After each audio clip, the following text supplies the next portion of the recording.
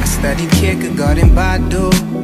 Listen to God and what she wants it. I studied everything about you. Even studied. What's up, babes? So, I know it's been a while since I dropped the YouTube video, but listen, life been life and I hope y'all understand. But recently i have been battling with ovarian cyst and i felt like i needed a little guidance. Um, and i'm sure there's a couple of girls out here who may be going through something similar or have been through something similar who need a little guidance too. So this is my story. I went to the doctor a total of five times. Um, i'll tell y'all why first time I went to the doctor, the doctor really didn't run any tests. I just told him my symptoms, and he basically prescribed me metronidazole, which is an antibiotic, and diflucan, just in case that antibiotic caused me to get a yeast infection. Um, didn't run any tests. Um, I ended up taking those and my symptoms ended up getting progressively worse. So the second time I went to urgent care, um, male doctor, both of them male doctors, um, the, the doctor did do a pelvic exam, basic blood work, PICS test, um, and ended up giving me a shot of Rocephin to treat quote unquote um, uh, infection infection in my tubes. That's what he said he thought it was, and prescribed me ibuprofen 800 for the pain. Y'all, when I say that ibuprofen didn't do anything because I was back at the doctor um, a couple of days later, and I think this time I went to an emergency room, um, seeing another male doctor. Um, he did a pelvic exam, blood work, the basics, and ended up prescribing me azithromycin and naproxen 500 so i was taking a thousand milligrams of naproxen a day instead of taking the ibuprofen. Um, naproxen is basically just Aleve. So basically i was just taking a high dosage of Aleve. Now the uh, the naproxen did work but i felt like it did have a negative effect on my heart because my my heartbeat started beating very erratically. So i ended up stopped taking that. And because of you know the situation with my heart and my ovaries i ended up going to the emergency room again just to check on everything. Um, and this time i saw a female doctor which made all the difference because she did get me in for ultrasound and a chest x-ray. And that's when I found out found out that I had cysts in my ovaries. She um, continued to say that the cysts weren't big enough to operate on yet, and um, she sent me home, you know, basically telling me just to take the pain medication and they'll get better on their own um, and to follow up with a gynecologist if the pain persists. Um, so I did book a follow up with a gynecologist and they didn't do they didn't run any more tests. Um, they basically were saying the same thing that the woman said at the emergency room. Um, they'll have to go away on their own. They're not big enough to operate on. Um, so they sent me home. And y'all when i say i was just in so much pain i was just bloated. I could only sleep on my back. If i turned to my side or slept on my stomach or anything i just felt like my uterus was falling out. I was in so much pain. And not only that now my heart's beating erratically uh, it was just horrible. It was a horrible experience. And I only started feeling better when I started eating better. So you got to think about it. I was in the bed ordering DoorDash, eating fast food, anything that was quick, that's what I was eating. So I got up, Googled what you know foods were good for ovarian cyst and i made a change so i started eating better and that's the only time i started feeling better so i wanted to give you guys the my tips for resolving ovarian cysts and I hope this helps someone. So, this is what I eat in a day treating ovarian cysts. Let's get into it.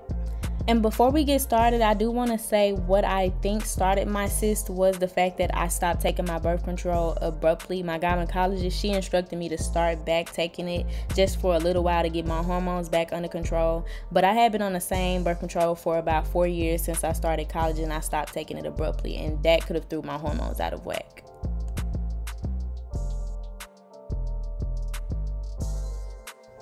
So I like to keep my mornings pretty consistent. I always start my days with hot tea. I use Taylor's organic chamomile tea, which I picked up at my local fresh market, which helps with inflammation. And I also add ground flaxseed, which is an omega 3 fatty acid that helps control hormone disruption by lowering the body's androgen levels. You can find flaxseed at any fresh market, Kroger, Publix, anything like that, and just ground it up in a blender. That's what I did, or sometimes you can find it already ground. And I add a little bit of honey for taste because I'm not really big on sweeteners.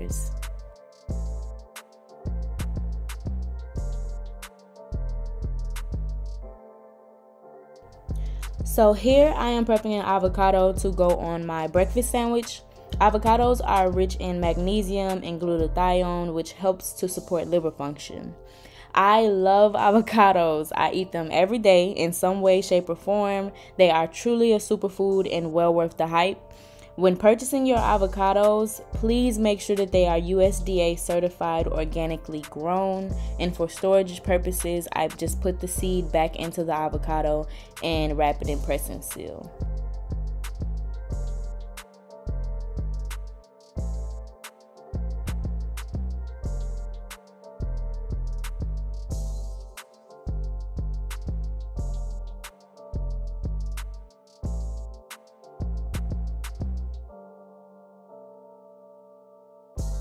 The type of bread I use is Dave's Thin Slice Killer Bread. It's organic, it's super good. They have thicker slices, they have bagels, they have snack breads and granola bars and things like that. Um, you can find it at your local fresh markets, Whole Foods, Kroger's, Publix. I've been seeing them at Walmart recently. It's really good. I 10 out of 10 recommend. You don't have to compromise on taste because they have white bread, good seed, um, whole grains. They literally have it all. So I recommend that you guys check them out. Sometimes I do eat my breakfast with a side of tomatoes and a fruit like either a orange or a pear. I recommend all three as they are all high in fiber, which is good for treating ovarian cysts.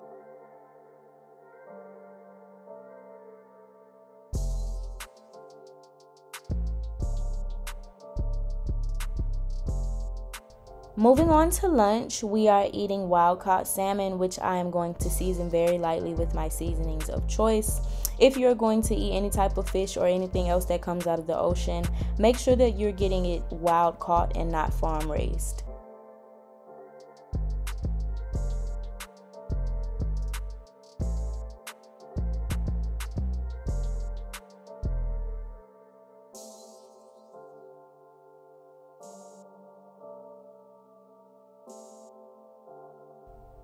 I do eat the entire fish, including the skin, so I season them front and back. If you don't, it's completely up to you. You can take the skin off, but I, for one, do eat the entire fish.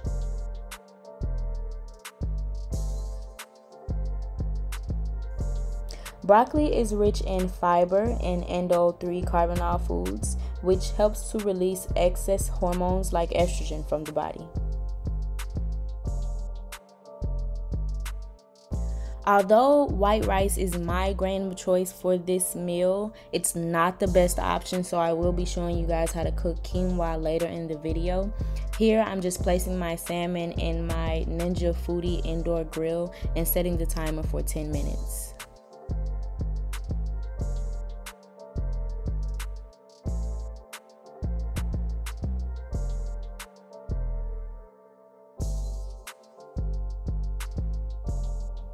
My goal with this video was to make it as detailed as possible because when you're just beginning to learn how to cook, you just don't know. And there's a lot of people that contact me like, hey, I just need more details. I need you to break it down to me how you cook simple things like rice, which I understand. It's okay. We all start somewhere. So don't feel a ways about not knowing how to cook simple meals like rice or fish or vegetables because we all start somewhere and it takes a lot of practice.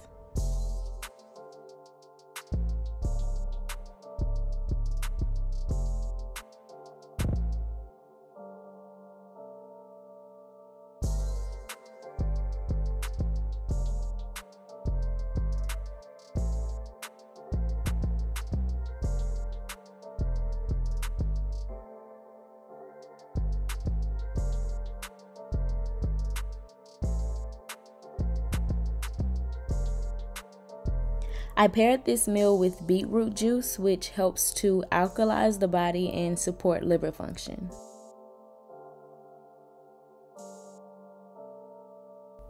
Right after making my lunch, I went ahead and prepared the marinade for the tuna steak that I'll be cooking for dinner.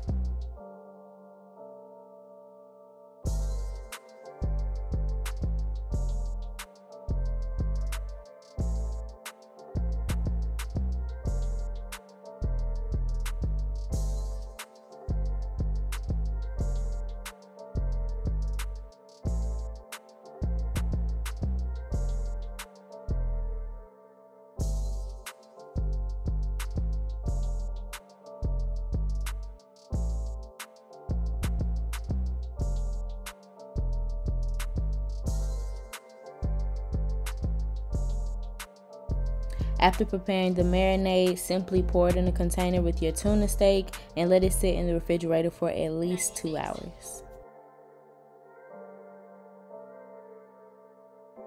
Cabbage is also a really good food to help with ovarian cysts because of its omega 3 fatty acids and indole 3 carbinol, which helps to control hormone disruption.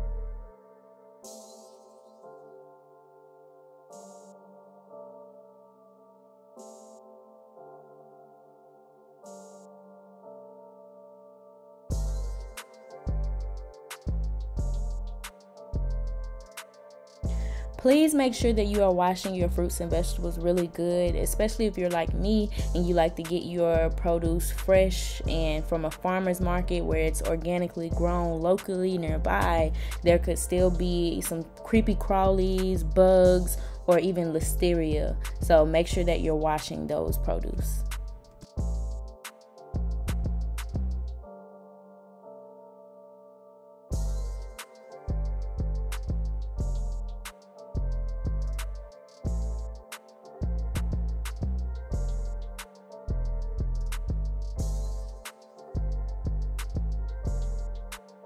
I do want to say, even though I use chicken stock here, it was before I realized that chicken quite possibly could have been one of the things that was disrupting my hormones. I'm not sure what they're putting in the chicken these days, but it does not taste like it used to when I was little. I'm sure I'm not the only one that thinks this, but even after using the chicken stock and the cabbage, it did irritate my ovaries a little bit. So, just a heads up.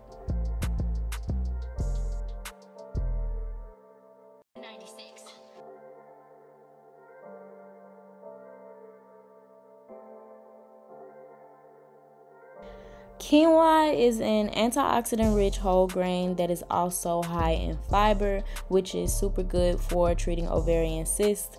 I cook it the same way I cook my rice. Bring the water to a boil, pour the quinoa in, cover, turn the heat low, and let it simmer until the water is gone. And here I'm taking the tuna steak that we had marinating in the fridge and searing it for about three minutes on each side, and this is what it looks like. Yeah. After 15 or 20 minutes, the water should be completely cooked out of your quinoa and it should be the desired consistency that you want. But if your quinoa isn't done and it's still a little hard, it's not fluffy, it's not edible, then just add a little bit more water and cook it down again until it reaches the desired consistency.